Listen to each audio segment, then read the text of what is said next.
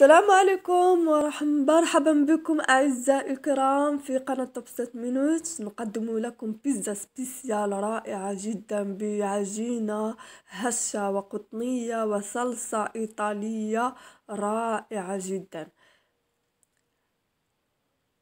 طازجة بشكل تام مع صلصة وحشوة متنوعة.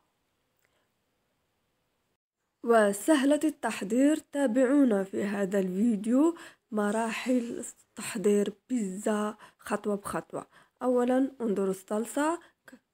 كذلك العجين مخمرة في ظرف خمس دقائق وفي وقت وجيز الطريقة سهلة جدا جدا جدا وبمكونات موجودة في المنزل. مقادير عادية جدا. عجينة مخمرة فقط بمقادير التالية. ربع كيلو جرام من الدقيق الأبيض.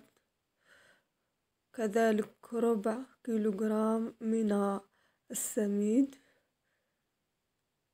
هذه بالنسبة للبيتزا المتوسطة. كذلك ملعقتين كبيرتين من زيت الزيتون وفي الأخير منسمة بالزعتر وملح نضيف الملح وكذلك الخميرة الجافة وممكن أن تكون خميرة معجونة أو خميرة البلدية. كأس من ماء دافئ نخلط الكل بالماء فقط. ماء فقط. لتكون تكون عجينة متجانسة بدون مجهود.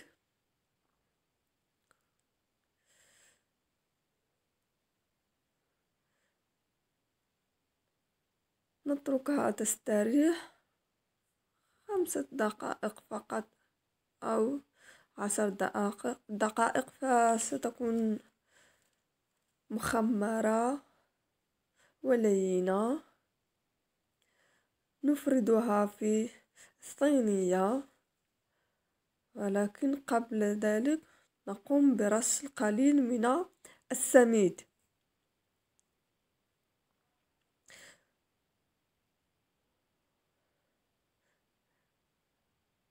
وليس الدقيق من الأفضل السميد ونسرحها باليد.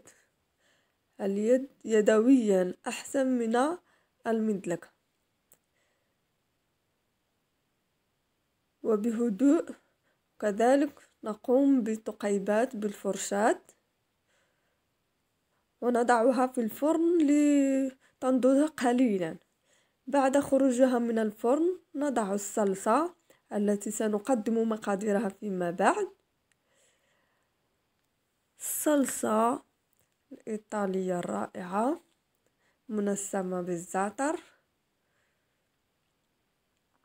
ندهن العجين كله ب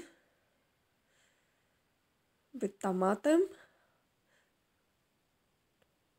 يجب أن تكون الطبقة متوسطة ليست مليئة كثيرا وليست رقيقة جدا. آه، متوسطة. وبعد ذلك نقوم بالطبقة الأولى برش قليل من الجبن الأحمر أو فروماج الأحمر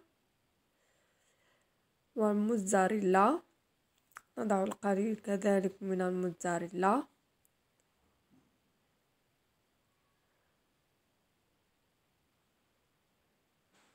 وبعدها نضيف الحشوة وفي الأخير نضيف كذلك طبقة أخرى من الموتزاريلا والفرماج الأحمر. هناك وضعت نوعين من السمك المعلب بالزيت الزيت والسمك المعلب بالطماطم. بالنسبة للحشوة فهي من اختياركم. ممكن فقط الطن ممكن الاستغناء عنها ممكن أن تضع قطعة صغيرة من الفلفل أخضر. نضع شرائح من الديك الرومي المبخر نزين بها العجينة بيتزا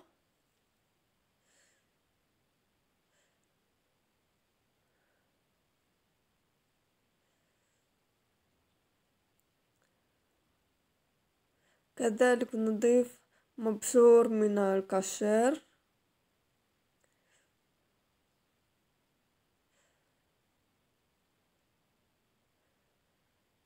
بالنسبة للأطفال يحبون التنوع يحبون كاشير ويحبون السمك المعلب هذا هو سر النكهة وسر الرائحة الزكية للبيتزا نضع كريات من الكفتة وهو اللحم المفروم مطبوخ.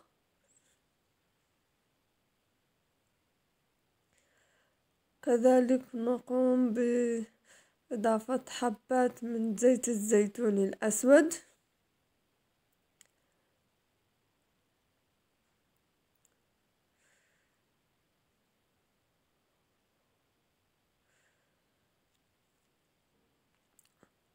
وأخيرا نضيف الطبقة النهائية وهي طبقة الفرماج الجبن الأحمر والشيدر وجبن موزاريلا كل أنواع الفرماج التي تحبونها.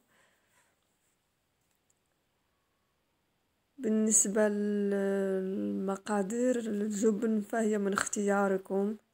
فكلما زادت كمية الجبن مبشور كلما كانت بيتزا شهية ورائعة.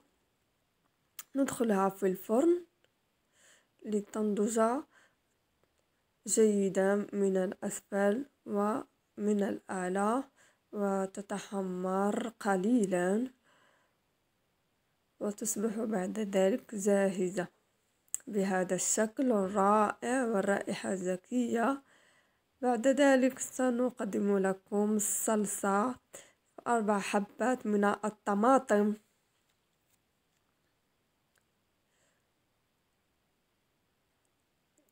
ممكن متوسطة وممكن أن تختاروا ثلاث حبات كبيرة.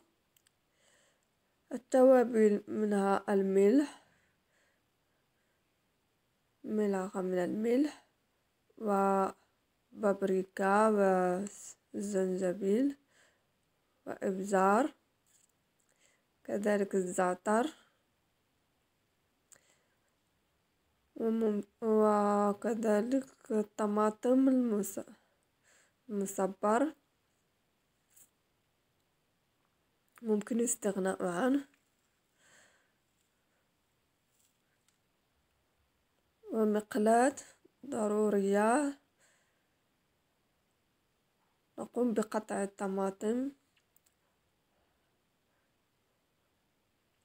وبشرها فوق المقلاة. من أحسن أن تكون مبشورة أي محكوكة. من الأفضل أفضل من طحنها. فهذا هو سر نجاح الصلصة أن تكون مبشورة. نضيف زيت الزيتون.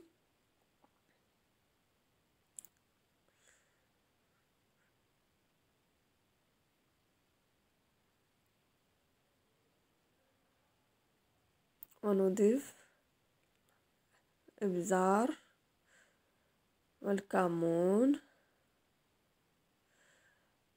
والزنجبيل كذلك بابريكا الفلفل الأحمر وممكن استغناء على الملح.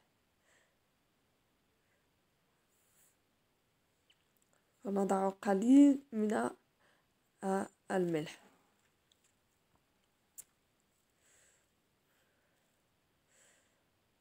نحركها جيدا نحرك الخليط جيدا. بعد ذلك بعد التحريك نضعها فوق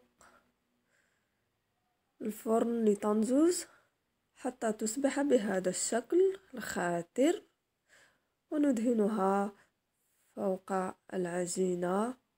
شكل العجينة البيتزا مطهوة نسبيا والحشوة وها هو الشكل النهائي وبصحة و راحة